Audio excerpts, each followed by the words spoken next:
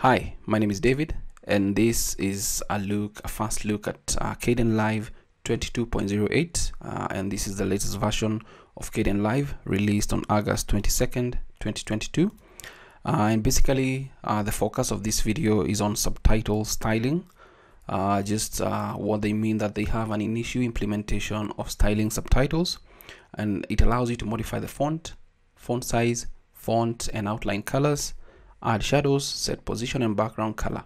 So more options are expected in the next releases. Hopefully we'll see what's available.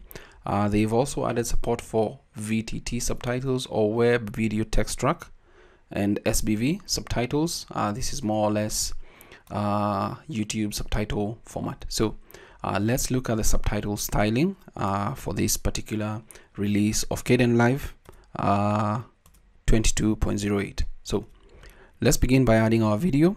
Uh, just drag and drop this one here. Switch. Let's add it to the timeline. There's our video. So if you don't have subtitles for this you can start creating subtitles from scratch. You can go to project subtitles add subtitle or shift s.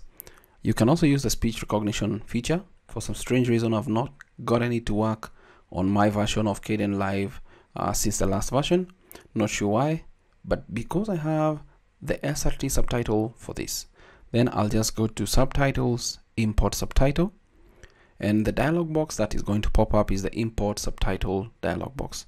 So you'll have the option to open or navigate to the folder with your subtitle. So I'll just click on this and navigate to that folder.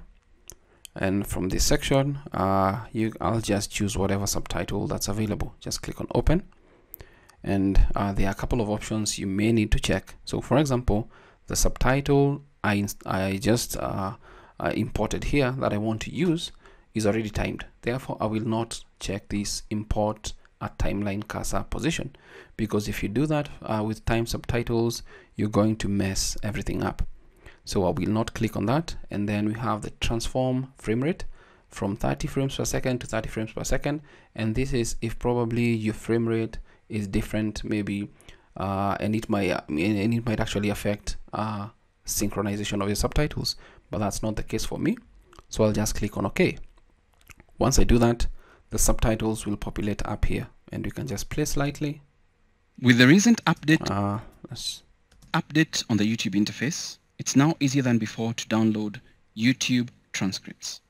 Hi my name is David. So the subtitles are available looking real good and all that now if you don't uh, see the dialog for the subtitles, you can click on one subtitle and to our bottom right here, you'll see the subtitles section selected and you can click on it to see uh, what we get here, etc.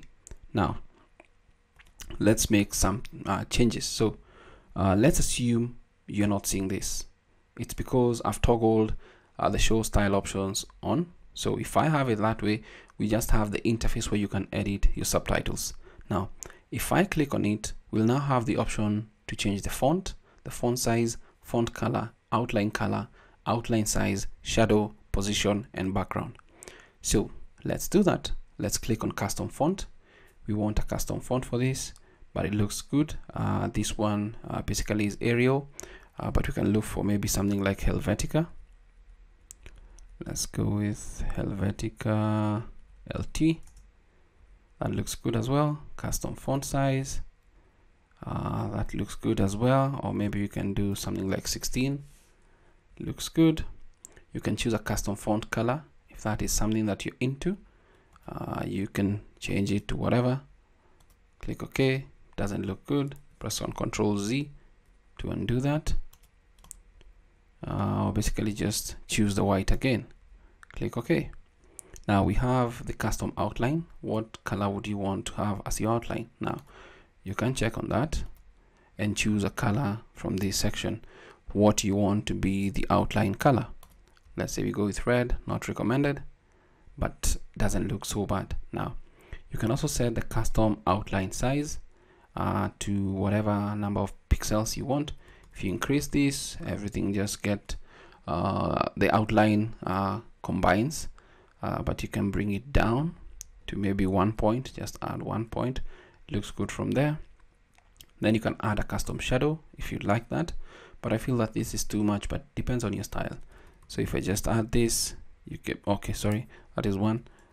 Uh, if you add the custom you'll see the shadow moving in that direction but let's uh, leave out the shadow. Uh, so we can do a custom position where you can change the position for this to bottom left. If that's what you're into uh, center left. And then we have top center etc. Really depends on what effect you're looking for.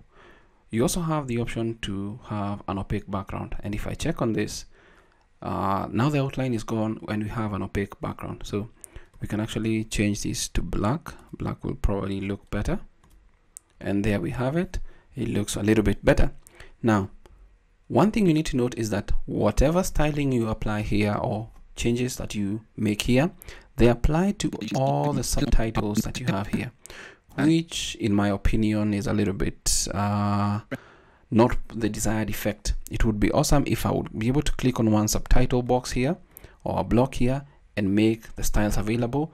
If I would like to apply the style to all subtitles then there is an option to apply style to all subtitles and also options to save the styles that you create so that you can easily recreate the same effect over and over again. So that's those are some of you my few suggestions for the subtitle styling that will need to be improved in future. Uh, maybe also uh, supporting two subtitle files uh, at once and then support for right to left subtitles uh, that is uh, for languages that are written and read from right to left Arabic, Farsi, Persian, etc all those languages. So that's a first look uh, and that is how the subtitle styling is working. Also if it's possible uh, for the folks at Kdenlive to support uh, styling that comes with advanced substation alpha or .ass subtitle, subtitle styles that would be awesome uh, so that we can just save a lot of time especially if you work in an application like uh, subtitle edit uh, that also offers all those functionalities. But this is highly welcome. Uh, the style options uh, the styling for subtitles highly welcome. So that's a first look uh, in the latest version of Kdenlive 22.08 the new subtitle styling features. That's it for me. My name is David and until next time stay safe and never stop learning